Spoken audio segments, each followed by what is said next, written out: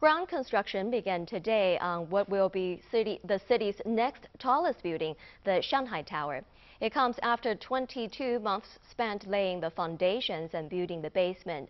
The designers say it will be an eco-friendly building, as Zhang Yuan reports.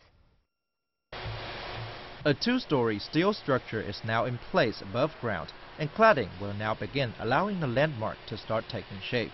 Ten more levels will be constructed before Chinese New Year next February.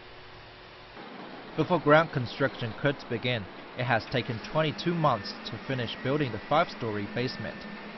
Shanghai Tower's neighbors, the Jin Mao Tower and the Shanghai World Financial Center, mainly have financial and hospitality functions.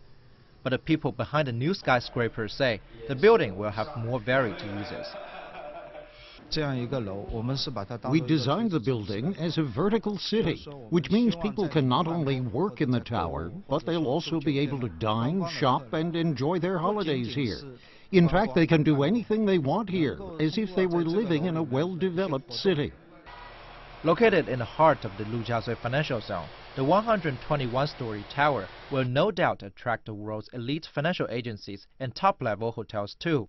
But another difference will be in the green solutions used to limit the structure's environmental impact.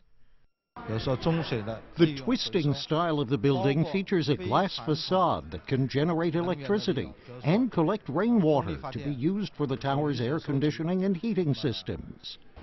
Construction on the 632-meter tall building is expected to finish by 2014. By that time, the Shanghai Tower will join the other two skyscrapers in Lujiazui just behind me and it will also be the world's second tallest building, only surpassed by the Burj Khalifa in Dubai. Zhang Yuan, ICS News.